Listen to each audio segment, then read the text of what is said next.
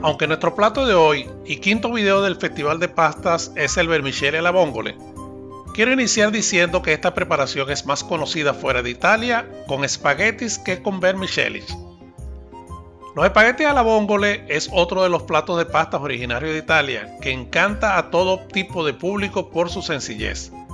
Se trata de una pasta con sofrito de ajo y aceite de oliva extra virgen, vino blanco y almejas, las cuales se abren al ser cocinadas con el vapor, dejando salir todo el sabor marino que encierran en su caparazón, en una técnica que es muy sencilla de ejecutar.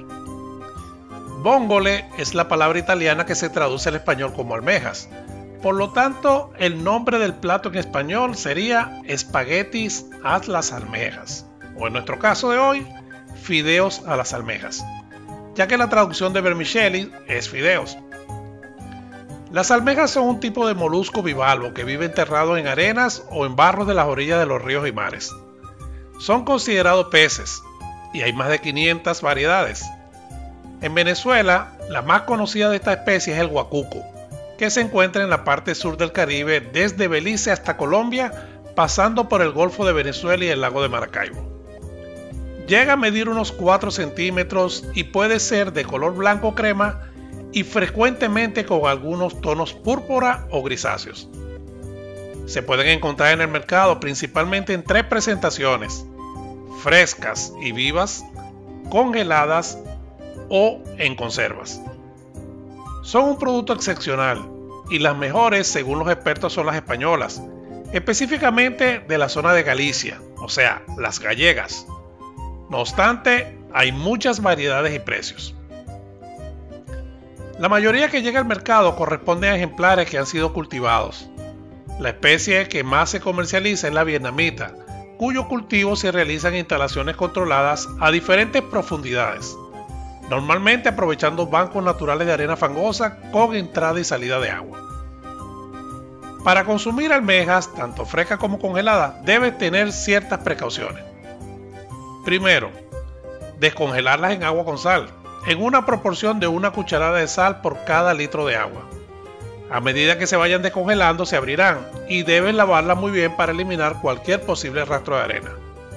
Segundo, si las almejas son frescas, se deben sumergir en agua con sal por un periodo no menor a 30 minutos. Al estar vivas, abren su concha y se mueven, dejando salir la arena del interior. Luego volverán a cerrarse, Así que cualquier concha que al tocarla permanezca abierta es síntoma de que está muerta y debe desecharse. Tercero, las almejas deben oler a fresco y sentirse pesadas según su tamaño. Debes evitar cualquiera que despida olor a amoníaco. El poder saborizante de las almejas hace que se pueda incluir en salsas, destacando la verde o distintas elaboraciones de pasta a la marinera con salsa de almeja y otro marisco, ensaladas templadas, fideuá, platos cárnicos o recetas de pescado y arroces. Para aprovechar todo ese sabor es conveniente guardar el caldo que queda al cocinarla, previo a que haya sido colado con un paño donde se recogen todos los residuos y emplearlo en la elaboración o en futuros platos. Y antes de iniciar, quiero recordarte que si no te has suscrito a este canal, aproveches ahora. Solo necesitas hacer clic en el botón rojo suscribirse y posteriormente en la campanita, donde debes elegir la opción todas para asegurar que YouTube te envíe notificaciones cada vez que publico un nuevo material. Ahora, pasemos a esta preparación que es sumamente rápida y sencilla. Para elaborar este plato vas a necesitar 250 gramos o un paquete de una libra de almeja preferiblemente fresca, 3 cucharadas de aceite de oliva extra virgen, 3 dientes de ajo, una cuarta cucharadita de peperoncino. Esto es opcional, si no te gusta el picante, pues déjalo afuera. Una taza de vino blanco, perejil al gusto y por supuesto pasta, 120 gramos de vermicelli, sal y pimienta.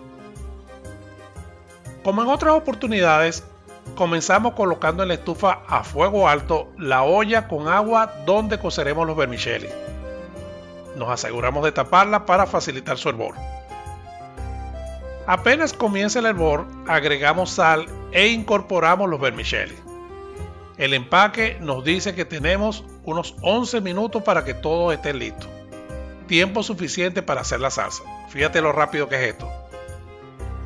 Colocamos la sartén a fuego bajo y agregamos el aceite de oliva.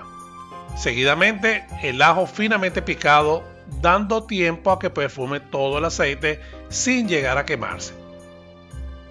Transcurrido un par de minutos, incorporamos las almejas, subimos a fuego medio la estufa y salteamos ligeramente por 30 segundos. Acto seguido, agregamos el vino blanco y tapamos, dejando cocinar por espacio de 7 a 8 minutos. Aquí es donde está el truco, la esencia de esta salsa. Pasado este tiempo, ya los vermicelis deben estar casi listos. Por ello, destapamos la sartén, agregamos un poco de sal, removemos y seguidamente ponemos la pasta, la cual terminará de cocerse en la salsa solo un minuto más. Si notas que todavía está muy seca, recuerda que tienes a la mano el recurso de agua que siempre hemos comentado. Incorporamos perejil fresco recién cortado, removemos y emplatamos. El resultado aquí está, a la vista. Como te he dicho en otras ocasiones, no se acostumbra agregar queso parmesano a este tipo de preparaciones con mariscos. Sin embargo, la elección es tuya. Recuerda que es para que lo aproveches. Así que, hecho esto, te deseo buen provecho. Gracias por ver este video. Si te gustó esta preparación, puedes indicarlo con un like, haciendo clic en la manito. No olvides tus comentarios u opiniones, estos son importantísimos para realizar mi propuesta culinaria con tus expectativas. Soy Williams Pacheco y esto es Hecho en Casa, al Natural.